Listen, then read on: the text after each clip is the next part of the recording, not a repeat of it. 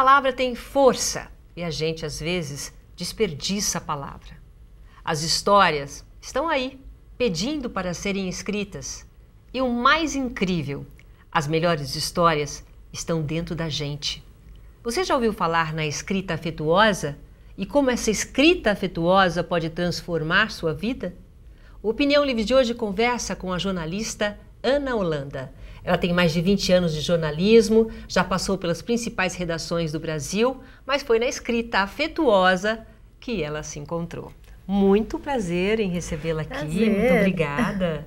Sabe que a primeira vez que eu ouvi o tema, o, o, o tema é, escrita afetuosa uhum. me chamou a atenção. Uhum. Porque é uma escrita com carinho, é uma escrita com amor. O que é uma escrita afetuosa? Na verdade, assim, ela envolve né, a, a questão da, da emoção, mas ela é principalmente uma escrita que afeta o outro, que conversa verdadeiramente com o outro. Ela é mais no sentido de afetar.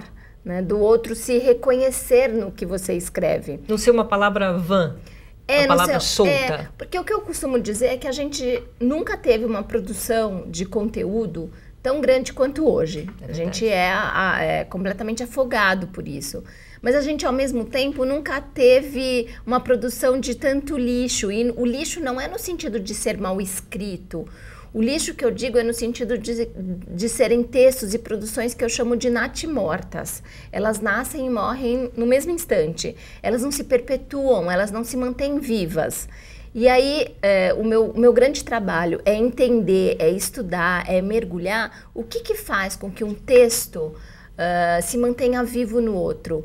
O que, que faz com que um texto, a pessoa leia daqui, é, comente comigo algo que ela leu há 5, 6 anos. O que, que faz? Aquele que texto ficar na memória. Ficar na memória, se manter vivo, não, é, não se diluir, né? O que, o que, que, o que, que faz? Porque para mim isso é super importante.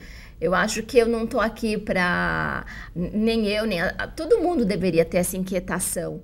Porque ela gasta tempo e energia para produzir algo. E aquele algo morrer no mesmo instante que nasce, para mim não faz o menor sentido. É uma inversão de valores enorme que a gente vive hoje. A gente não tá, não tá tendo um processo nem consciente, nem reflexivo em relação ao que a gente está produzindo. Isso é muito ruim. Quando que você começou a sentir isso? Quando que veio esse insight? Peraí, as palavras elas têm que ter, elas têm poder, né? Como eu falei. Quando que você começou a analisar isso dessa forma? Isso começou há mais ou menos uns sete, oito anos, quando eu comecei a ter retornos dos leitores dizendo nossa, parece que você conversa comigo. É, porque você, você é, é editora-chefe da revista Vida Simples, Isso. né, desde 2011, e essa revista tem textos é, específicos. Ela é, um, ela é uma revista que, por si só, ela já é uma quebra de um, de um jornalismo mais conservador e tradicional. E eu vinha de uma escola de jornalismo conservador. Eu uhum, passei por muitas uhum. redações, eu já tinha um bom tempo de, de prática, de escrita e de edição. E aí, de repente, está no comando de uma revista que propunha uma quebra nesse padrão, para mim foi um, um novo olhar para o que eu fazia. Apesar de eu já tinha um texto que era um pouco mais sensível. E esse texto mais sensível, em alguns momentos ele era um mérito, em outros ele era um desmérito. Como né? assim? Um desmérito no sentido de, de, de dizer é, é muito sensível o teu texto. A gente precisa de uma coisa mais séria. Né? Então, assim, e, só que na época eu também não tinha argumentos em relação a isso. Eu acreditava que o que o outro estava dizendo era o que era correto e que às vezes eu precisava diminuir essa carga hum, em que eu me envolvia demais com o que eu escrevia, né? Então, quando eu fui para a vida simples, existia uma, uma das quebras grandes que a gente trabalha em jornalismo, é que a gente não pode se colocar no texto, não pode ter a primeira pessoa no texto. Nunca? Na vida simples ela é super possível. Hum. Você pode se colocar, você pode ser protagonista da história. Okay. E isso é, isso humaniza foi, o texto, um, né? Super humaniza, humaniza demais. E, e daí eu comecei a ter esse tipo de retorno. Parece que você conversa comigo, Olha parece que você, você sabe o que eu estou precisando ouvir. E eu falei, cara, isso acendeu uma luz enorme na minha frente, que eu falei, o que, que é um texto que conversa com o outro? E eu comecei a mergulhar nisso de entender quais eram os elementos que presentes numa escrita que traziam essa sensação de conversa. E o mais assustador para mim, quando eu olhei para isso, foi perceber que aquilo que a gente acredita e que a gente coloca todas as nossas fichas, que é a técnica, é a menor parte da escrita. Que não toca a pessoa. Não, a gente joga a luz na menor parte da escrita, que é a técnica. A técnica, ela pode nos ajudar a, a, estruturar a escrita, mas você apostar todas as suas fichas nela é completamente equivocado. E é o que a gente faz a maior parte das vezes. Eu encontrei elementos que estão ligados à coragem, a amor, à igualdade, à vulnerabilidade, conceitos muito mais sutis que ninguém fala pra gente. Nos seus textos? Nos meus textos e nos textos de outras pessoas uhum. que tinham essa mesma relação com o leitor. Então eu comecei a olhar para isso, o que, que, que, carregava ali. E é muito inquietante quando você descobre isso, porque você fala assim: como é que eu vou ter coragem de falar para as pessoas que é um texto que tem alma? Como é que eu vou falar para as pessoas que é um texto que tem um envolvimento, que primeiro você mergulhou em você para depois escrever aquilo, né? E então foi um processo para mim de lidar com medo. E eu sempre falo isso, o, quando a gente escreve, quando a gente se propõe a escrever, o medo é um companheiro. Ele vai estar tá sempre ali. E é muito importante você saber que o medo vai ser sempre um companheiro. Na escrita. Na escrita, porque senão você pode se deixar paralisar por ele. Por que, que, ele é um companheiro? Porque quando você se envolve com o que você escreve, quando você se mostra, quando você é, se envolve com aquilo, quando tá, você se relaciona com a palavra. Você está exposto, né? Você está exposto. E exposição é algo que as pessoas têm muito medo. Elas Tem preferem, que ter maturidade até para escrever. Tem, elas preferem caminhar num terreno confortável, que é o terreno das regras, da metodologia, né, do como é que eu faço um texto. Esse é, esse é, esse é o, o, lugar onde a gente se sente mais confortável. Mesmo quando a gente lê, por exemplo, você pega um texto de jornal ou texto de alguma coisa, qualquer texto, seja um texto de política, de economia, enfim, aquele texto você realmente só guarda quando de alguma forma você se identificou. É. Seja ele qual for. Seja ele qual for. Nossa, é, até você comenta com alguém, ah, eu li um negócio, ou eu li um livro, eu é. li um texto que me marcou muito. Marcou por quê? Porque em aquele momento aquela pessoa colocou a alma no texto. É. Eu sempre falo sobre isso, assim, não é o, a escrita afetuosa, ela não é sobre uma escrita de sentimentos. Ela, ou ela não é só sobre os grandes assuntos que a gente considera felicidade, amor, prosperidade, gratidão. Ela é sobre qualquer coisa ela é sobre política, ela é sobre economia, ela é sobre a escrita, ela é sobre criminalidade, ela é sobre a escrita. Mas a diferença é como é que eu estou me relacionando com ela. Porque quando a gente troca a palavra técnica, a gente está sempre atrelando a escrita à técnica, a, técnica da escrita, ou a metodologia, ou a regra, ou a jornada. Né? As pessoas têm muito isso ligado à escrita. Eu falo, tira, põe relação você vai ver um descortinar na sua frente. Você vai entender as suas dificuldades, as suas barreiras relacionadas à escrita. Você vai entender o outro, como é que, como é que, como é que isso chega no outro. Eu sempre falo assim, é um mergulho tão forte, a gente tem que mergulhar tão dentro da gente quando a gente escreve, que assim, primeiro vai doer em você antes de doer no outro. Primeiro vai te alegrar antes de alegrar o outro. Primeiro vai te informar antes de informar o outro. Diz, primeiro você tem, você tem que sentir o você texto? tem, você tem. Aquilo tem que te emocionar primeiro antes de Tem que te emocionar primeiro. Isso é carregar a vida. Eu falo assim, a gente a gente teoriza a vida nos textos. A gente não vivencia os textos. E isso, é, as pessoas sempre ficam muito inquietas com isso. Qual a diferença disso? Basicamente é o seguinte: se eu te trouxe aqui um assunto sobre, vamos falar sobre luto, e eu te trouxe uma caixa com um monte de informações e falar, ó, eu tenho, uma, eu tenho aqui conversas com terapeutas, psicólogos, pesquisadores sobre o luto. Uhum. Eu tenho uma pesquisa absolutamente incrível da Universidade de Harvard que fala que 30% das pessoas que, é, que passam por um processo de luto, elas desenvolvem depressão profunda. Tudo Uau! frio, né? É, tudo frio. Que interessante esse material. Vou escrever sobre isso na hora. Vamos escrever agora. Vamos escrever. Aí, o mais fácil, o caminho que, onde a maior parte das pessoas vai é teorizar a vida. O que é teorizar a vida? Eu pegar esse material e eu vou reproduzir sem ter nele um processo de reflexão. Então eu pego esse material e começo a escrever. O luto é uma das dores mais difíceis que uma pessoa pode vivenciar. De acordo com pesquisa feita pela Universidade de Harvard, 30% das pessoas que passam por isso desenvolvem depressão profunda. De acordo com o fulano digital, com o terapeuta, o psicólogo. Bem da, jornalístico, né? né? É, para lidar com isso, você tem que fazer isso e aquilo. Isso é teorizar a vida, isso é o que a maior parte dos textos traz. Sim. Agora, quando, como você vivencia? Você olha para esse material e pensa, tá, como é que o luto se apresenta na vida das pessoas. Independ... A gente é muito apegado a números, a porcentagens, e a gente não tenta olhar para elas do tipo, como é que isso está presente na sua vida? Porque essa é a questão. A gente não, a gente não tem uma, uma, uma, relação empática com isso. Como é que esses números, essas porcentagens, esses dados que a gente adora falar, né? Que a gente coloca, né? Com, com, com até com orgulho, porque eu tenho isso. Mas como é que isso, isso de verdade se apresenta na sua vida? Como é que você vivencia isso? Como é que chegou nessa como porcentagem? Como é que chegou nisso? Né? O sofrimento das pessoas Exatamente. em relação a isso. E aí você olha para esse material e você pensa, bom... O luto se apresenta na vida de uma pessoa como uma ausência, mas a ausência ainda é um lugar muito amplo.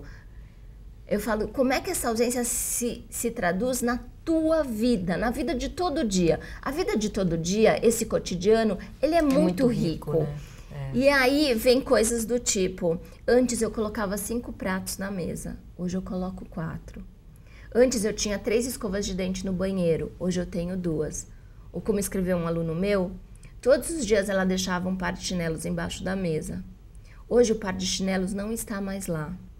E ele falava sobre a dor da morte da mãe. Existe uma diferença enorme em você escrever o texto a partir desse olhar ou daquele olhar em que eu estou só teorizando e só simplesmente reproduzindo a informação. Porque ela não e as é pessoas, quando elas leem, elas sentem isso. Elas sentem, mesmo que ela não tenha passado por nenhum processo, ninguém tenha morrido na família. Não, elas dela. sentem quando o texto é frio é um texto jornalístico e quando é um texto que sai do coração? Exatamente, porque o texto, a grande sacada é quando a gente entende que a gente não se identifica com um texto, com uma escrita, pela superfície. A superfície é essa que morre, é essa que vai embora. Se eu escrevo a partir da superfície, ela vai te encontrar na tua superfície. Se eu escrevo com a profundidade, ela encontra na sua profundidade. É, é, aí que ela continua viva em você. Ela deixa de existir em mim para morar em você. Ela se mantém viva graças a você. Porque eu coloquei a minha vida e a minha vida passa a existir em você, de algum sentido. A vida nesse sentido de perpetuação daquilo. E o encontro não acontece na superfície. O encontro acontece pelo que o, aquele texto carrega. O Isso amor, vale vida também, a né? relação, né? o afeto, a saudade, a angústia. É o, é o profundo. As pessoas ficam muito apegadas na superfície. Elas ficam tão muito apegadas, protegidas, super, né? a é, ponto delas terem muito medo, por exemplo, das narrativas em primeira pessoa. Porque eu falo, faz parte do processo você contar as suas histórias, as suas histórias. Né? E as pessoas falam, ah, mas não é muito egoísta? Quem vai se interessar pela minha história? Eu ouço muito isso. E eu falo assim, egoísta é a gente não se preocupar com o outro. Egoísta é a gente só olhar para o nosso próprio umbigo. Muito bem, ó. Vamos dar uma respirada aqui, né? Porque foi de um fôlego só. Vamos para um rápido intervalo, daqui a pouco eu continuo aqui conversando, tá bom? Até já.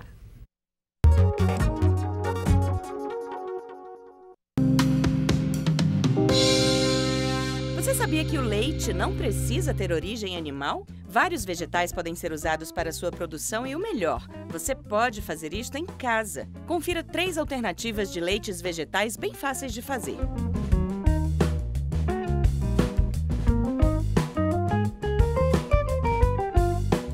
leite de banana.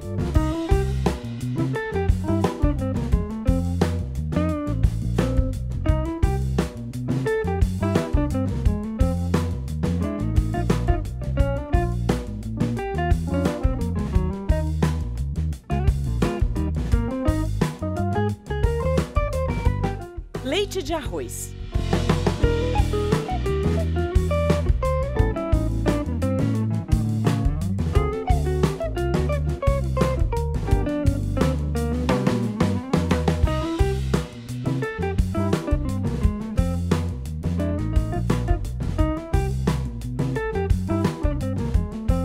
leite de inhame.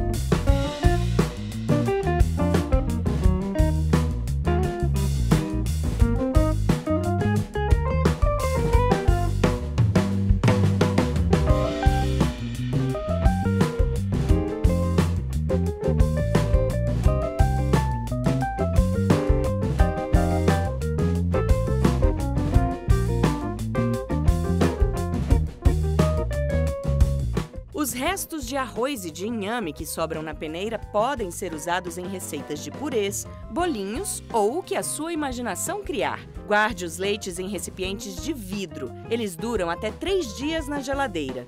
Ou coloque em formas de gelo e congele. Assim, eles duram 30 dias no congelador.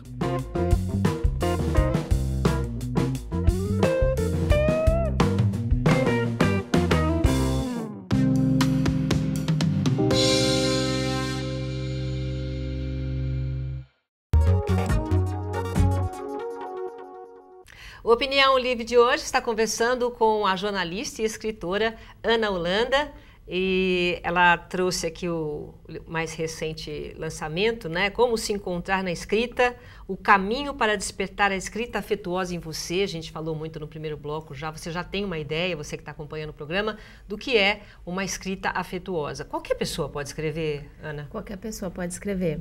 Essa é uma das grandes questões que eu trago sempre no meu curso nos meus cursos que eu dou pelo Brasil e que eu mostro que qualquer pessoa pode escrever. E eu não tinha tanto essa noção até que eu fiz um trabalho no ano passado, porque essa, essa, essa é uma questão muito forte, porque as pessoas elas elas acreditam que a escrita está muito ligada a um dom, para quem Sim. nasceu com esse dom especial. E é importante a gente tirar esse foco desse extraordinário. É importante a gente entender que a escrita é para todos e que todo mundo tem essa capacidade. Né? A gente nasce com essa capacidade, né? A gente tem, até os 9 anos de idade, a maior parte das, das pessoas já, já, já foi alfabetizada e ela consegue escrever um texto com bastante espontaneidade. Sim. Mas ao longo desse mesmo processo educacional, a gente vai sendo imposto a tantas regras e métodos que você começa a barrar... Uh, o, a, a, o, lado realmente de o, sentimento. O lado de sentimento e esse lado que é muito espontâneo da tua escrita, né? O adolescente tem muito isso até ele ser colocado nesse processo pré-vestibular em que ele começa a acreditar que a escrita nasce de uma metodologia, né? Para escrever bem. E eu fiz um trabalho que me marcou muito no ano passado, que foi para uma empresa que eles me contrataram com a seguinte proposta. Eu tinha que viajar por três localidades do Brasil interior de Goiás, interior de Minas, interior do Rio. E eu tinha que fazer com que um grupo ao todo de 70 pessoas escrevessem ao final de dois dias de oficina de escrita, falando sobre o que eles estavam aprendendo naquele período que era um período de afastamento do trabalho. Só que eram pessoas com que não tinham nenhuma intimidade com a escrita. Tá. Algumas que tinham, inclusive, uma certa dificuldade, dificuldade para expressar, é, e, colocar e colocar no papel. E o que eu faço é muito um trabalho de condução para a escrita. Eu sempre falo, a gente, eu conduzo. Eu não dou nada que você já não tenha, uhum. né? E a gente que até tem, porque você falou que está tudo dentro da gente, tá né? Tudo dentro da gente. A gente tem. A gente só precisa entender esse caminho. E aí, uh, eu posso te falar que ao final desse projeto, eu tive 70 textos bons. E mais do que isso, é, eles me fizeram entender que todo mundo é capaz de escrever. Teve um aluno que depois de dois dias ficou na frente daquele papel e não saía. Olha! E aí eu cheguei perto dele e falei assim, o que está acontecendo? É, você precisa de alguma ajuda? E ele falou assim, sabe como é, né? Eu tenho, eu estudei em escola pública, eu cometo muitos erros. A escrita é um ah, bicho de sete cabeças para mim. E aí eu virei para ele e falei assim, olha, eu posso te garantir uma coisa: todos os seus erros de ortografia e de pontuação serão corrigidos, mas eu não consigo corrigir erro de alma. Ou a gente põe a nossa alma num texto, ou a gente não põe. Eu não tenho como colocar minha alma no teu texto. Esse é o principal. Não dá pra gente, né? pra alguém escrever. Não dá. A gente, de novo, a gente está partindo da técnica em detrimento ao que é o, o que é mais profundo na gente. E aí eu comecei a conversar com ele, falando sobre o que, que você quer escrever. E a gente ficou uns 10 minutos em que eu fazia a pergunta e ele respondia. Quando terminou, eu olhei para ele e falei assim: Você entendeu o que acabou de acontecer? Ele falou assim: Eu acabei de escrever. Eu falei: Você acabou de escrever. Agora você põe isso no papel. É uma terapia, né? E ele colocou frente e verso. Olha, aí pra... vai saindo também, vai né? Aí quando começa tudo, vai saindo. Saiu tudo. E parece, a sensação que eu tenho, porque eu gosto muito de escrever, e a sensação que eu tenho, às vezes, quando eu estou em frente ao papel branco, que eu tenho, sou obrigada a escrever porque eu tenho uhum. um compromisso para escrever, é, aquilo vem. Eu espero vir o sentimento uhum. para poder escrever. Né? Porque se você vai só falar alguma matéria, você vai lá, pesquisa e vai escrevendo aquilo. Agora, quando vem dentro de você, você tem que parar, respirar e deixar vir. E muitas vezes vem diferente do que eu pensei.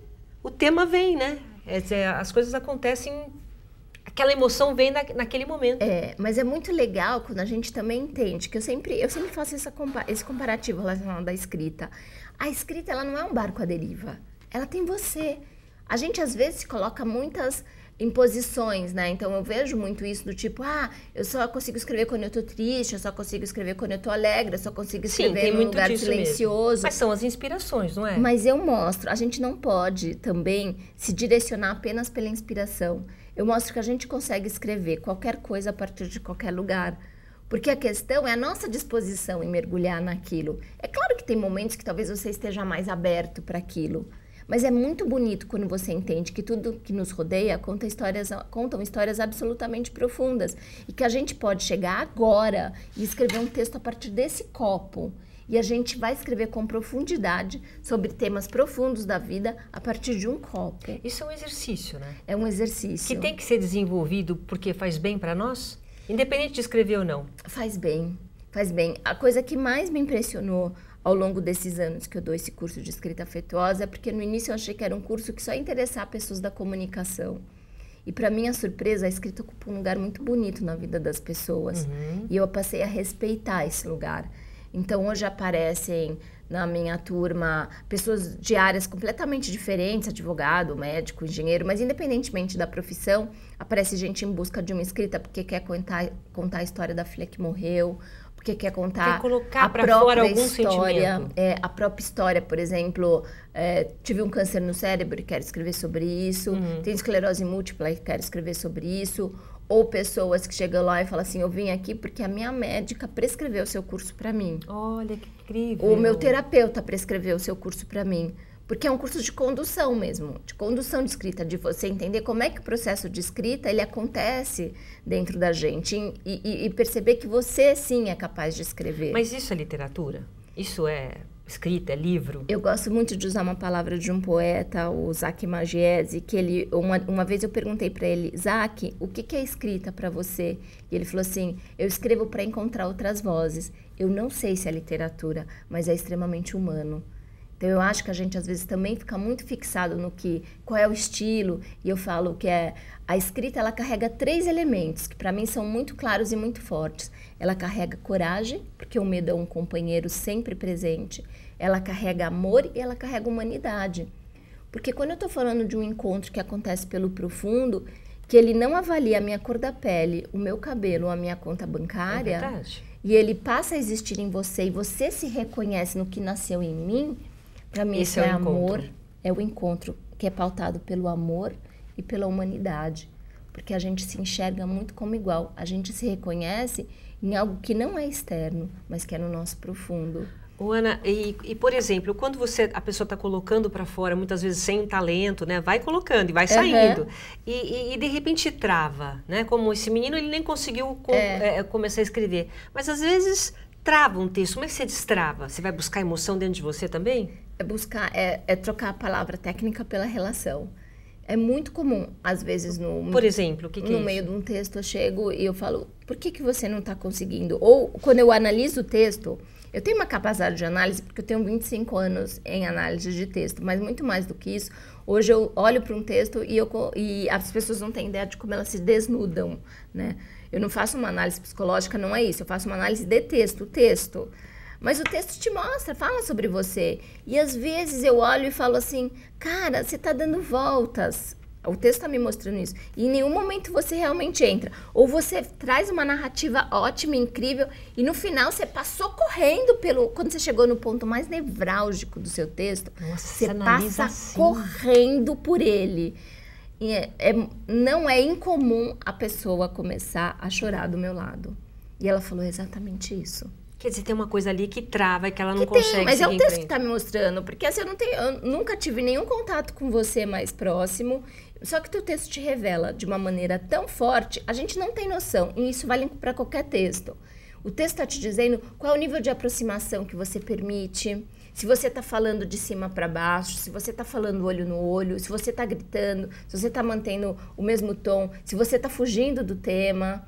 Uhum. Tá tudo sendo dito no texto. E como hoje você encara os textos uh, nas redes sociais?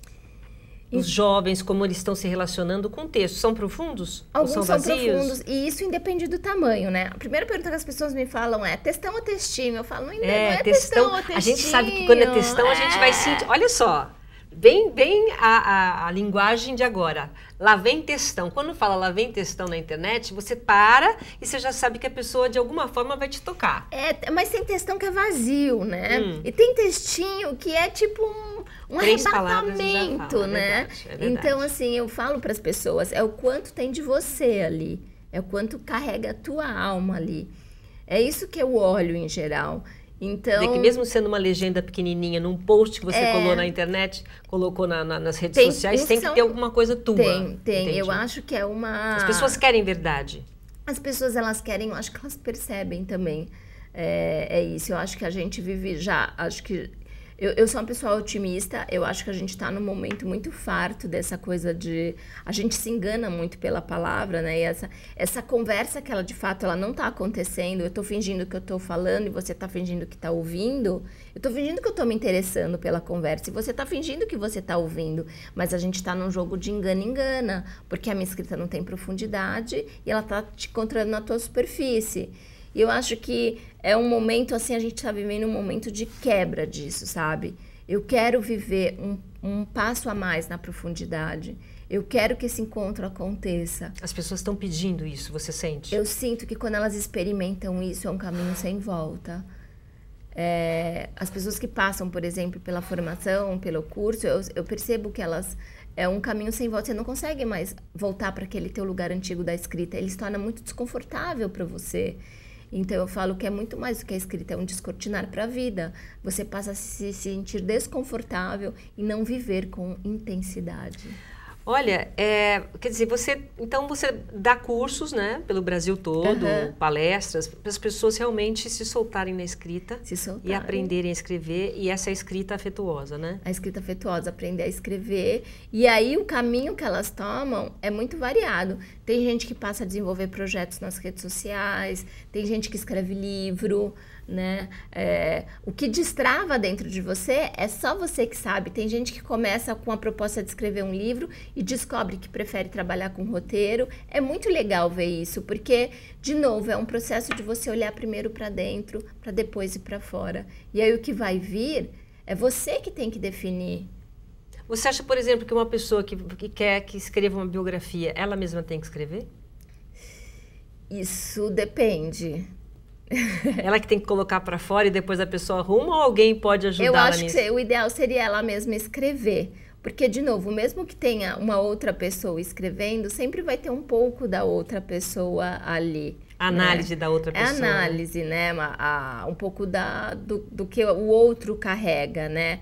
É, eu sempre, eu tenho umas pessoas que falam, por exemplo, que eu escrevo de uma maneira um pouco dramática, né? E eu falo, mas eu sou eu, né? É. Sou eu, essa sou eu, né? Então eu acho que sempre vai carregar um pouco. Uh, agora, depende, né? Tem biografias de pessoas que não são mais vivas, então você constrói a partir dos relatos né, do entorno.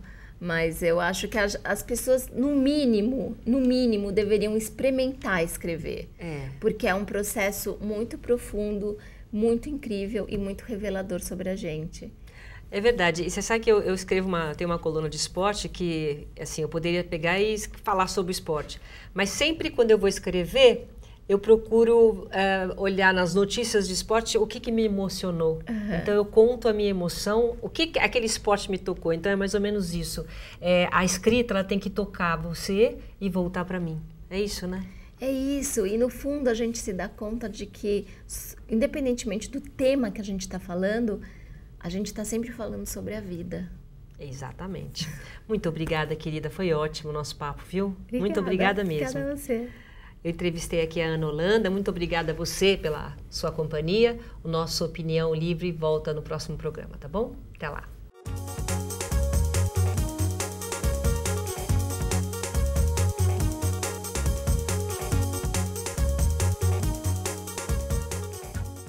Todo mundo deve ficar atento. Uma mancha na pele pode ser hanseníase. Se você tocar na mancha e não sentir nada ou perceber diminuição da força nos braços, mãos e pés, é melhor procurar uma unidade de saúde. É muito importante identificar o mais rápido possível. A hanseníase tem cura. O tratamento é gratuito e logo que ele começa, a doença deixa de ser transmissível. Hanseníase.